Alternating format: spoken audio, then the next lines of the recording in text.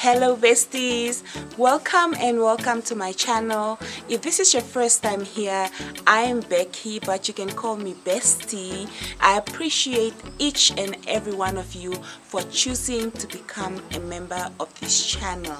I live in oshakati and today I'm coming to you right here from Onga, my village. So guys, feel free, feel welcome. It's going to be a whole set of adventure. We're going to have so much fun. Also, tell me, what do you think of my outfit? I mean, I'm going to stand up later, but I'm wearing my traditional attire. I come from the northern part of Namibia, so I'm an Oshiwambo woman, and in my culture, this is our traditional cloth. It's a fuchsia color. So I'm wearing a top and a skirt. Anyhow, anyhow.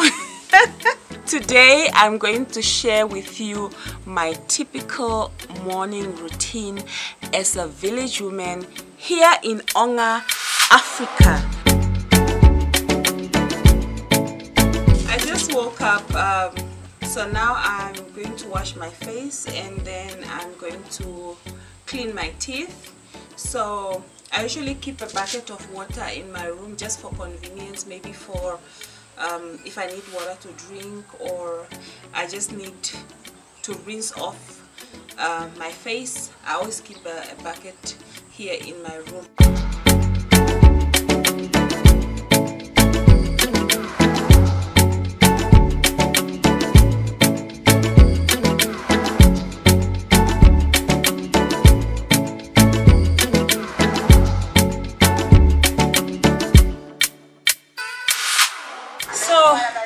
Besties we are not done but every every other chance that you get to at least get a lot of dust you pack it in the box.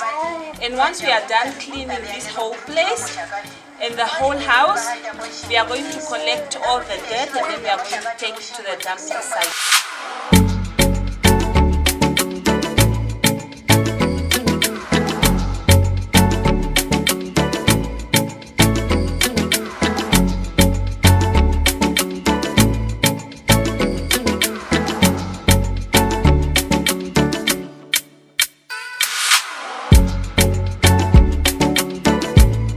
so now besties it's time to prepare soft porridge for the kids to eat when they go to school. I've already set it up. I'm just um, checking it. I already started putting it um, preparing it when i started um, sweeping the house. So now i'm just going to taste if it's ready. Mm, it's ready we are done cooking the soft porridge for the kids.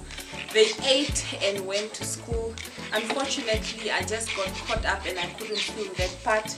But now i am going to continue with the rest of the work at home. We have to collect enough water for the day because although we are having a tap at home sometimes there's water interruption. So guys after i'm done collecting the water i just want to do my dishes quickly and I have my bucket of water here. And we are going to use this. It's called onindo to put in the sink